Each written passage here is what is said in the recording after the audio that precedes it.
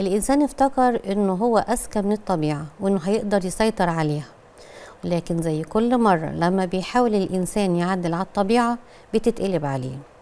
تعالوا نشوف إزاي الإنسان مش بس خنق آه البحر بجهله وبأعماله لكن كمان ضر صحته. من ساعة ما الإنسان اخترع البلاستيك أصبح البلاستيك بديل لحاجات كتيرة في حياتنا بداعي وبدون داعي. وبدل ما نوفر البلاستيك للاستخدامات المهمة للأسف أسرفنا في استخداماته في كل حياتنا. وأصبح البلاستيك شريك معنا في حياتنا اليومية وأصبحنا عايشين حرفيا في عصر البلاستيك. الهدف الأساسي من إنتاج البلاستيك إن هو خفيف وضد الكسر وسعره معقول وسهل التشكيل.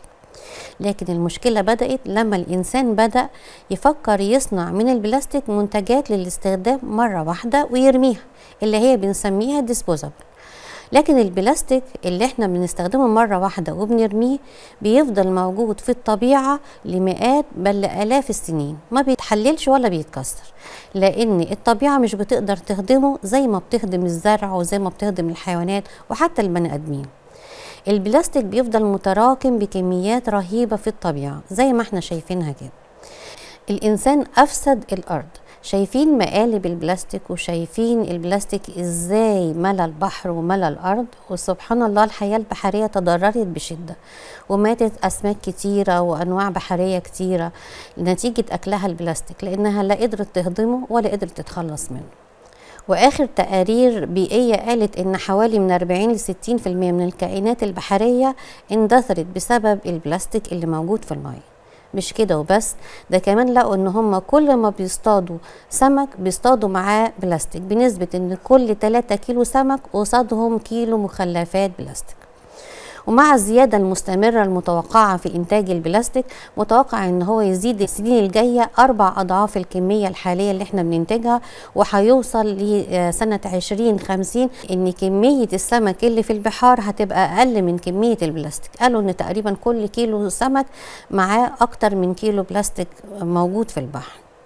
حتى لما فكروا إن هم يحللوا البلاستيك ووجدوا بكتيريا ممكن تحلله اللي حصل إن هو اتحلل للجزيئات الأولية. البلاستيك عبارة عن بوليمر ولكن الجزيئات الأولية ما زالت بلاستيك اللي هي بيسموها المايكرو بلاستيك أو النانو بلاستيك اللي برضو فضلت زي ما بنقول بلاستيك وموجودة في البيئة موجودة عايمة في المية وعالقة في قلب المية موجودة في الأرض وفي الهواء كمان وفي كل شيء. وللأسف الشديد الميكرو بلاستيك بتتغذى عليه الكائنات الأولية اللي موجودة في في البحر اللي هي بيرجع يتغذى عليها السمك وما بتهضمش إلا في بطن دي ولا دي ويرجع يتغذى عليها الطيور والحيوانات والإنسان كمان لغاية ما وجدنا الميكرو بلاستيك موجود في كل شيء موجود حتى في المركبات العضوية الطبيعية زي الملح وعسل النحل والعصاير حتى في الهواء كمان وجدوا الميكرو بلاستيك الشيء المرعب بقى لما لقوا الميكرو بلاستيك كمان موجود في براز الإنسان وفي عينات من الأنسجة الحيوية عينات من الرئة ومن الكبد. والمحزن فعلا إن هم كمان في أبحاث قالت إن في ميكرو بلاستيك في مشيمة الأم الحامل. طب خطورة الكلام ده إيه؟ الميكرو بلاستيك بيقدر يدخل جسم الإنسان عن أي طريق عن طريق جوف الإنسان عن طريق الجلد عن طريق الهواء. وبعد ما بيدخل على جسم الإنسان ويدخل الخلايا الحية بيلخبطها لأن هي مش بتعرف تتعرف على شفرته.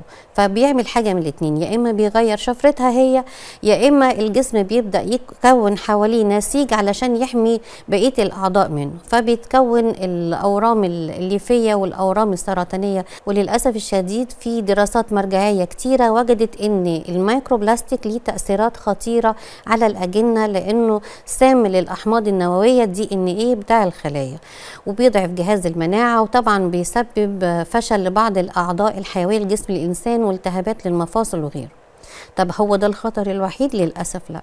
الأخطر كمان إن اللي إحنا عايزين ننبه ليه النهارده إن البلاستيك فيه مواد خطيرة جدا اسمها البسفينول أو اللي بيسموها ال BPA وال BPS وال phthalate دي كلها مواد موجودة من مكونات البلاستيك. عملوا أبحاث على ال BPA أول ما اتعرف ووجدوا إن هو ليه تأثير ضار على الغدد الصماء وليه تأثير يشبه الإستروجين اللي هو الهرمون الأنثوي وسموه xenoestrogen الهرمون ده لما بيزيد عند الستات بيعمل مشاكل كتيرة منها التكيسات المبايض منها سرطان الثدي. ولنا أن نتخيل كمان لما بيزيد عند الرجاله الهرمون الأنثوي ده ممكن يسبب إيه. ووجدوا كمان إن هو ليه علاقة بالعلاقه المباشره بالخصوبه والذكورة والقدرة على الإنجاب. الكلام ده خطير ولازم ننتبه ليه. لما اتنشرت الأبحاث دي بدأوا مصانع البلاستيك يعملوا إيه؟ يكرروا البلاستيك وينظفوه من ال BPA اللي هي المادة اللي إحنا اتكلمنا آه عليها. وكتبوا على البلاستيك BPA free وطبعا البلاستيك اللي مكتوب عليه ال BPA free بتبقى أسعاره غالية. لكن العلماء من الناحية الثانية ما سكتوش. خدوا العينات البلاستيك اللي انتشر في السوق ال BPA free وبدأوا يحللوها ويحللوا البلاستيك العادي. وجدوا إن الاثنين فيهم ما زالوا فيهم الهرمون اللي بيشبه أو يعني التاثيرات اللي بتشبه هرمون الإستروجين. ليه؟ لأن مش ال BPA بس هو اللي متسبب في المشكلة دي ولكن هو اللي كان اتعرف ولكن حتى الآن البلاستيك فيه مواد أخرى ليها تأثير يشبه الإستروجين على جسم الإنسان. طب إزاي المواد دي اللي موجودة في البلاستيك بتوصل لجسمنا؟ عبوات البلاستيك لما بتتعرض للحرارة المواد دي بتبدأ تدوب في الوسط المحيط. فطبعا زي ما إحنا متعودين لما بنملى الازاز البلاستيك ونركنها في قلب العربية أو نغرف الأكل في السخن في الأطباق أو في الكوبايات نشرب فيها أي شيء سخن المواد دي بتبدأ إنها تتسرب وتوصل لجسمنا. فلازم نبقى واخدين بالنا جدا ومهتمين بصحتنا وبصحة أولادنا. الإنسان لما اكتشف البلاستيك اعتقد إنه بيخلي الحياة سهلة وهو فعلا كان ممكن يخلي الحياة سهلة ولكن سوء استخدامنا والإسراف المفرط لينا في استخدامه كان ورا المشاكل الصحية اللي حصلت من ورا البلاستيك ده. فالبلاستيك بقى عامل زي المارد وخطره بيكبر كل يوم.